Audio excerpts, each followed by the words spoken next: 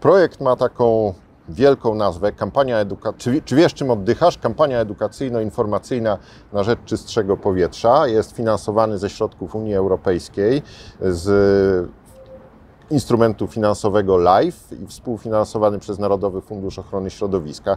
No i projekt, tak jak w tytule, ma zajmować się edukacją e, w zakresie e, czystego powietrza. Udało się w wielu województwach w Polsce wdrożyć uchwały antysmogowe, więc ta walka o czyste powietrze e, jest dość zaawansowana. Niemniej jednak cały czas potrzeba, potrzeba edukacji i informacji, tak żebyśmy mm, to te starania o czyste powietrze coraz efektywniej mogli wdrażać. Jedną z części naszego projektu jest e, mm, zrobienie czy zbudowanie tak zwanej otwartej sieci pomiarów jakości powietrza, które mają za zadanie e, mierzyć stężenia pyłu zawieszonego we Wrocławiu i w okolicach Wrocławia oraz w Bydgoszczy i w okolicach e, Bydgoszczy. Miasto Bydgoszcz jest tutaj jednym z partnerów naszego projektu. Drugim partnerem jest Politechnika E, wrocławska.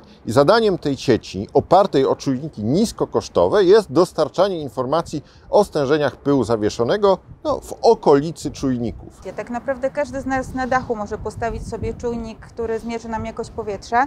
Nie zawsze taka lokalizacja jest dobra, bo e, wyniki, które dostajemy na stronach, e, mogą podawać wyniki pomiaru z konkretnego komina, dlatego że ten czujnik jest za blisko danego komina. Nasze czujniki są zlokalizowane w takich miejscach, żeby właśnie ten bezpośredni wpływ konkretnych kominów był jak najmniejszy. Są w miejscach trochę oddalonych od, od konkretnych źródeł zanieczyszczeń.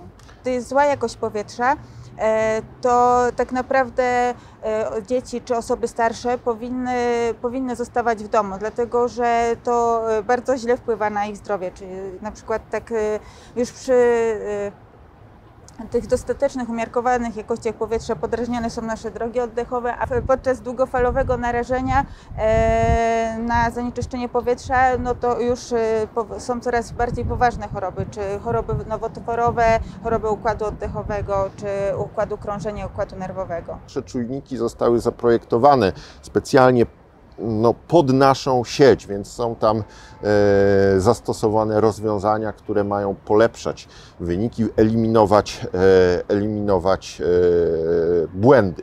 Z naszej sieci dla obszaru Wrocławia otrzymujemy 15 stanowisk plus 10 dla otaczających, e, otaczających miejscowości, więc mamy tą informację gęstszą, więc możemy badać zależności na przykład między e, typem użytkowania terenu a jakością powietrza, między rodzajem mieszkań na, danych, na danym obszarze a jakością powietrza, warunkami meteorologicznymi a jakością powietrza w różnych typach użytkowania terenu.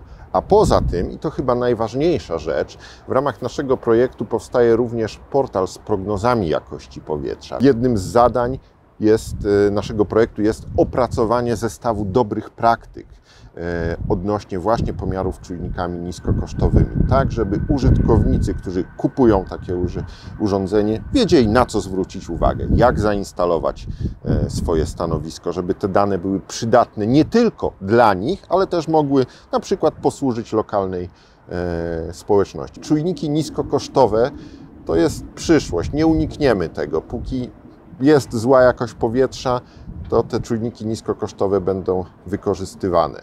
Będzie ich coraz więcej.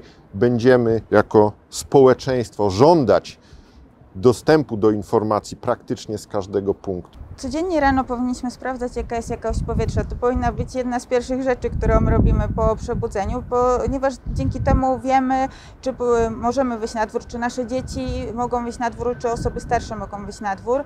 E, szczególnie zimą powinniśmy to sprawdzać, gdzie to narażenie na zanieczyszczenie powietrza e, z ogrzewania naszych domów e, jest największe.